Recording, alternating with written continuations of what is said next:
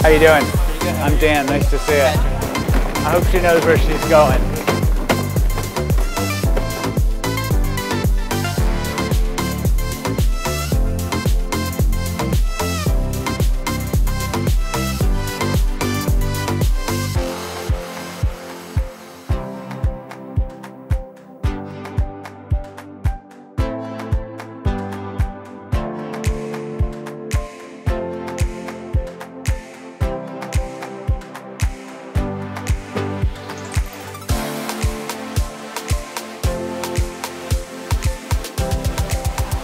Oh, are you kidding me?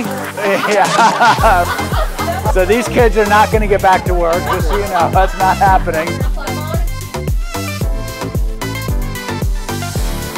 Good luck. You're going to do great.